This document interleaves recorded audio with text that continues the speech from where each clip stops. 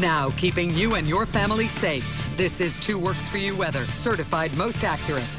Well, we basically got no rain all year, and now it yeah. looks like we're going to get a ton of it in just a short amount of time. Hopefully. Huh? You know, this is going to be the most rain we've easily seen in over a month, and uh, basically the first rain we've seen of the year, and we mm -hmm. will mm-hmm. certainly take it as all it's right. going to be time. moving on in.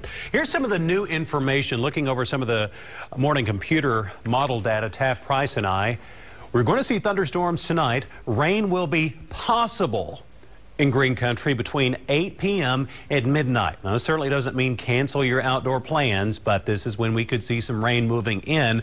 But most of the rain and the heaviest of the rain will be moving in between midnight and noon. As far as your forecast for today, we've also raised the high temperatures as the air is dry. And we're taking a while to cloud up. 60 at noon, 65 at 5, and thunderstorm chances toward 10 p.m. and 50 degrees. 56 right now and a really beautiful morning across green country with the blue sky. Breezy east and southeast wind at 16 miles per hour. Temperatures were all in the 50s now after beginning the morning near freezing. Coffeyville's at 57, 54 toward Grand Lake, Pryor, Tahlequah, 55 Okmulgee, 58 in McAlester will have a southeast wind today, breeziest during the afternoon of near 15 to 20 miles per hour. Now, one thing you will notice tonight, the wind is going to gradually become more east. That is out ahead of that approaching area of low pressure pressure, which will be moving in from the west. Now, two features that we're watching. We're now starting to see some thunderstorms developing down in Texas. This is where the bulk of the moisture is located.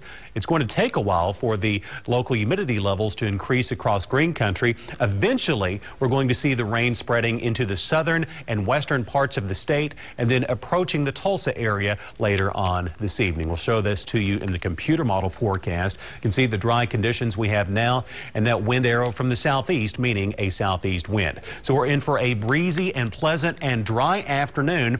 5 p.m. today, dry and green country. So your outdoor plans will be fine. If you're traveling west or south, you may be driving into rain. At 5 p.m. today, showers and storms possible toward Dallas. At 10 p.m. tonight, the thunderstorms will approach green country, and then after midnight is when we're going to see the bulk of that rain moving in.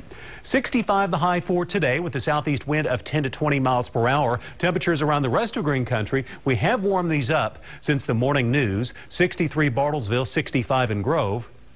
66 Pryor, 66 Tahlequah, upper 60s to near 70 toward McAlester. Then it's gonna rain tonight. This will be a near 100% chance for rain. As far as rainfall totals, one inch rainfall total should be common. Some of you may get two inches of rain. We will generally see less rain and lighter amounts toward southeastern Kansas, and the precip will be staying as rain as will be staying well above the freezing mark. Seven day forecast, bulk of the rain will be falling tonight tonight through the first part of Wednesday, though we will still see areas of at least light rain, light to moderate rain in green country, especially south and east of Tulsa into Wednesday afternoon. And a few showers could be lingering even into early Thursday.